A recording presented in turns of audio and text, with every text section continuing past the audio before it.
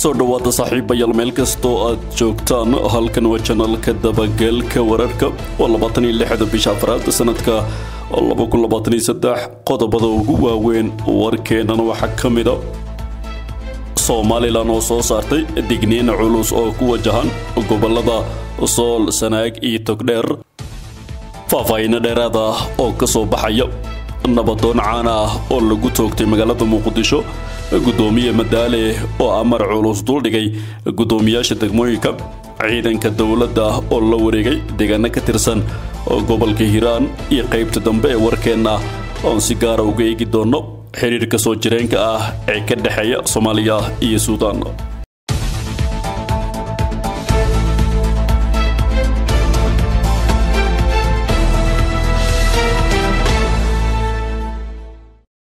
intaasi saaxiibayaal waxay ahaayeen qodobada ugu doorgaroon warka janaalka dabagalka wararka aad ku cusubtahay janaalkan ku soo biro subscribesar muuqaalka lagsaar shargare oo la wadaag saaxiibada aad ku mahadsan tahay inaad ka mid tahay saaxiibada dhawey janaalkan haatanna aan idinku wareejiyo waryaheena oo inoo soo gudbinaya wararkaasi oo faahfaahsan. Waad mahadsantaha halkan waa janaalka dabagalka wararka daawadayaal haatanna ku soo dhawaada qodobada aad maqasheen oo dhammaystiran somalilan ayaa soo saartay digniin ku wajahan gobolka sool iyo laba gobol oo kale.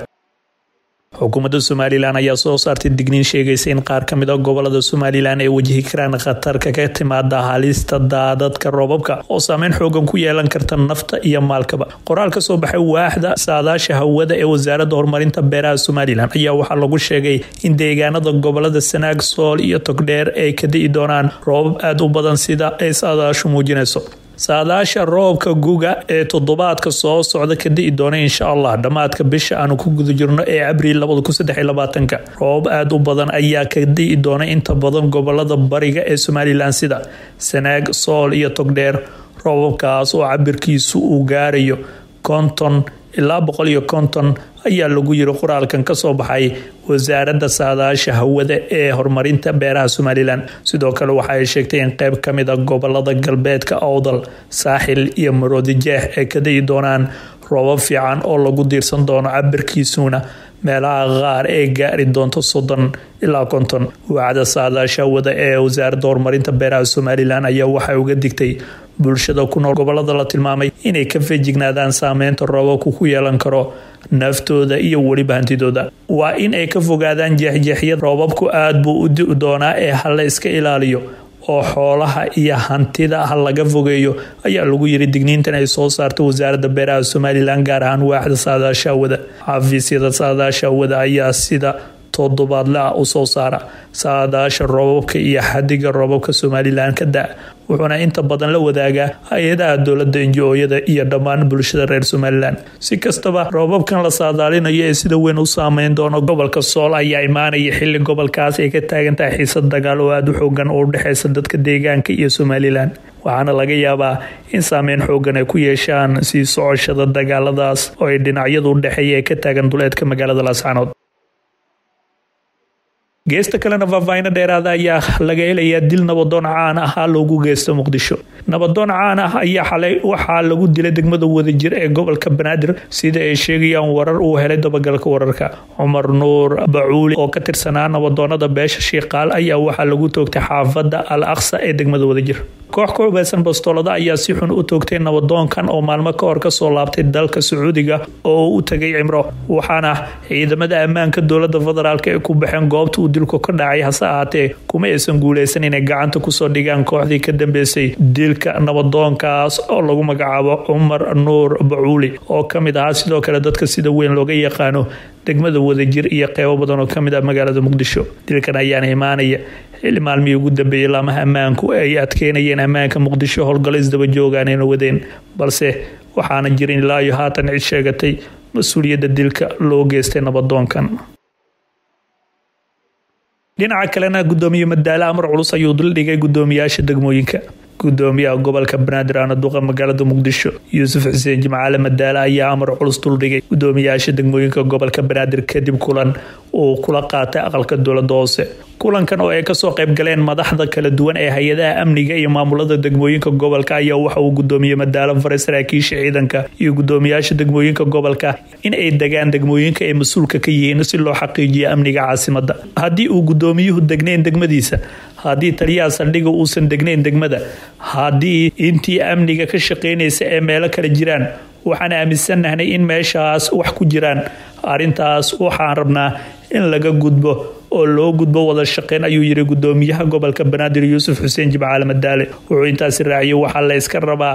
in si midaysan oo wada jir ah aan uga wada shaqeyno buu yiri annaga mas'uuliyad ayaa naga saaran oo xisaabtan ayay naga rabaan dadka. Annagana waa in aan idinka idinla xisaabtanaa ayuu yiri gudoomiye madaale. Duqa muqdisho ayaa sidoo kale waxa uu mas'uuliyiinta iyo saraakiisha uu kulanka la qaatay ka codsaday inay sii dardargeliyaan sugidda amniga caasimada isagoo ku bogaadiyay sida ay bisha ramadaan ugu guuleysteen in bulshada caasimada ay nabad helaan. Kulankan oo ka dhacay xarunta aqalka dowladda hoose ee xamar ayaa waxaa goobjoog ka ahaa gudoomiye ku-xigeenka maamulka gobolka banaadir iyo xogayaha guud ee maamulka gobolka. Taliyaha qaybta guud ee booliska gobolka banaadir iyo ka nabasugidaba si kastaba muddooyinkii dambe ayaa waxaa soo hagaagaya amniga magaalada muqdisho oo markii hore qaraxyadu ay uga dhici jireen si aan kala joogsi lahayn dadkuna aada ugu dhiman jireen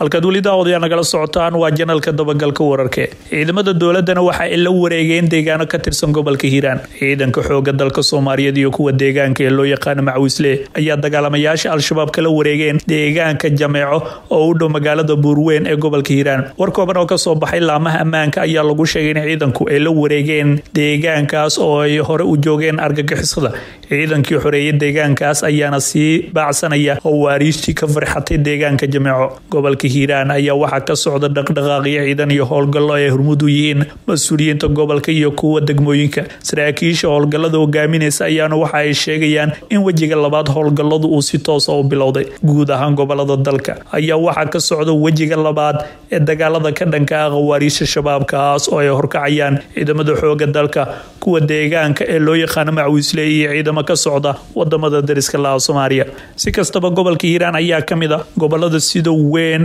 al-shabaab looga saaray deegaanadii ay inta badan ay kaga sugnaayeen. Haatan deegaano kooban oo ay kooxdaasi ka joogto ayaa la rajeynayaa in dhowaantan la soo afjaro oo gebi ahaanba laga saaro sida ay ka dhawaajinayaan mas'uuliyiinta gobolka ugu horeeyo gudoomiyaha gobolka hiiraan cali jeeti cismaan oo isagu lafahaantiisa horkacaya. Mar kale howlgalkan ka soconaya qeyba ka mid a gobolka hiiraan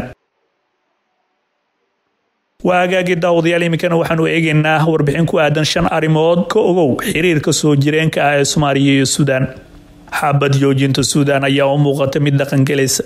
inkastoo ay jiraan warar sheegaya in rasaas iyo madaafiic la maqlayo weli waa dadaalkii afaraad oo lagu joojinayo dagaalkan oo bilowday shan iyo tobankii bishan iyadoo heshiisyadii hore ee xabajoojinta aysan dhaqangelin xogayaha arrimaha dibadda mareykanka ayaa sheegay in xabajoojin labaiyo toddobaatan saacadood ay gaareen dhinacyada isku haya suudaan suudaan oo ku taalla waqooyiga afrika ayaa waxaa ku sugnaa ajaanib badan iyo arday waxbarasho u joogtay oo ay soomaalidu ka mid yihiin dowladda federaalka iyo dowladda suudaan. Ayaa waxaa ka dhexeeya xiriir soo jireena iyo wada shaqeyn diblomaasiyadeed. Soomaaliya ayaa waxaa lagu tilmaamaa inay tahay dalka ugu badan ee muwaadiniintiisu waxbarashadu aadaan dalka suudaan. Sidoo kale suudaan ayaa lagu tilmaamaa inay xiriir aada u dhow iyo saaxiibtinimo soo jireena ay kala dhexayso soomaaliya kuwaasoo ay ka mid yihiin diinta iyo dhaqanka. Haddaba si aan wax badan uga ogaano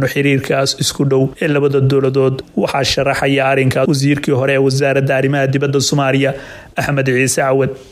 Maxaa udub dhexaad waa xiriirka soo jireenka ah ee soomaaliya iyo suudaan? Soomaaliya iyo suudaan waxa ay ka siman yihiin arrimo dhowra oo ay ka mid tahay diinta dhaqanka iyo ururada siyaasadda ay ku midaysan yihiin. Cawad waxa uu yidhi xiriirka soomaaliya iyo suudaan waa mid weligiisa wanaagsanaa waxyaabo badan ayaan wadaagnaa suudaan mar walba. Ilaa dowladii dhexe ee burburtana xiriirkeenu waxa uu ahaa mid soo jireen ah oo marnaba aan isbedelin. Ardayda soomaaliyeed ee wax ka barata suudaan oo ah kuwa ugu badan dhankoodana markaanu milicsano suudaan waxaa waxbarasho u jooga arday soomaaliyeed oo ugu badan marka loo eego kuwa waddamada kale. Sidoo kale siyaasiyiinta ugu badan ee soomaalida ayaa lagu sifeeyaa in badankooda ay wax ka soo barteen suudaan. Wasiirka hore arrimaha dibadda soomaaliya axmed ciise cawad ayaa faahfaahin ka bixiyey xiriirka waxbarasho ee u dhexeeya labada dowladood isagoo yidhi suudaan waxaa wax ka barta ardayda ugu badan oo soomaaliyeed kuwaasoo intooda badan helay waxbarasho lacag la'aana. Mas'uuliyiinta ugu badan ee dalka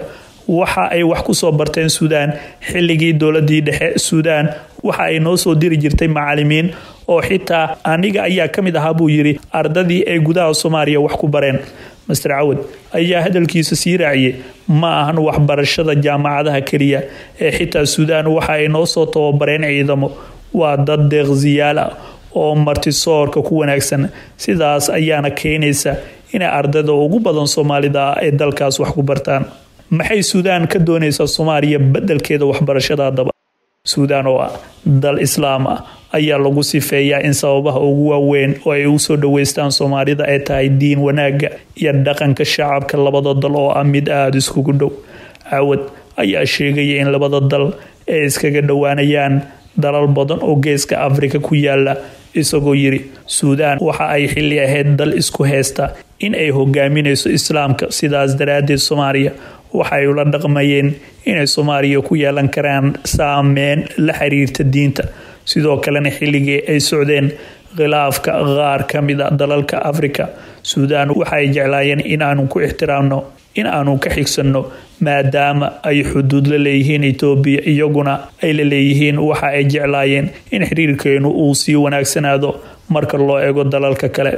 lacagta ay suudaan u soo daabacday soomaaliya maxaa ka ognahay madaxweyneyaal kala duwan oo soo maray soomaaliya waxa ay dhowr mar sheegeen in wax ka bedel lagu sameynayo lacagta shilinka soomaaliga oo haatan u muuqata inay sii dabargo-eyso ama aan laga isticmaalin gobollada qaar ee ku yaalla soomaaliya. Cawad oo ka hadlay ayaa yidhi suudaan waxa ay nagala shaqaysay dhinacyo badan waxaana ka mid ah in suudaan ay gaartay in ay lacag inoo soo daabacaan taas ilaa goordhow ku jirtay bakhaarada. Suudaan waxaa inoo jooga safaarado taas oo sii xoojinaysa mar walba wada shaqaynta haddaba gacan sidee ah ayay soomaaliya ka geysan kartaa xasilinta suudaan? Labada dowladood ee soomaaliya iyo suudaan waxay ku midaysan yihiin ururo siyaasadeed oo dhowra sida igaad iyo jaamacadda carabta. Igaad ayaa u muuqatay in dagaalka socda ay xal u raadinayso sidii loo kala dhexgeli lahaa dhinacyada seesta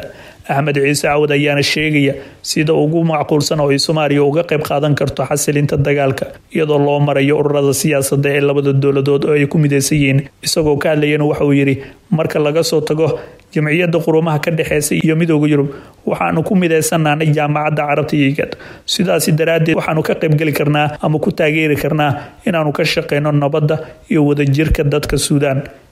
inagoo u mareyna ururada siyaasadda ayuu ka dhawaajiyey wasiirka hore arrimaha dibadda soomaaliya. Si kastaba suudaan ayaa la tacaalaysay xiisad dagaal oo aada u xoogan oo dhowaantan ka qaraxda una dhexeysa ciidamada militariga iyo kuwa sida gaarka ah loo adeegsada ee loo yaqaano r s f ta dagaalada ayaa sii baahaya. Xabad joojino dhowr ah oo la sameeyey ayaa fashilmay waxayna taasi keentay in dowladaha caalamku ay la baxaan muwaadiniintooda soomaalida oo ka mid a dadka ugu badan ee dalkaas ku sugan ardayna u badan ayaa haatan iskaga soo cararayaan wadanka suudaan. Intooda badan waxaay soo gaareen xadka etoobiya halkaas oo lagu wado in laga soo daadgureeyo. Soomaali badan ayaa sidoo kale u gudubtay dhinaca suudaanta koonfureed halka oo dowlad gooniyo ah waxaana dowladda federaalk soomaaliya wadaa qorshooyin ku aadan sidii inta kale ee soomaalida ay ku sugan gudaha wadanka suudaan loo soo saari lahaa. Inkastoo qaar ka mid a ardadu ay ka dhawaajinayaan in lacago fara badan lagu xiray sidii ay xadka uga gudbi lahaayeen sababahaasna ilaa iyo haatan waxaa jira yihiin. Balse safaaradda iyo wasaaradda arrimaha dibadda soomaaliya ayaa ka dhawaajinaya inay wadaan qorshooyin arrimahaasi wax looga qabanayo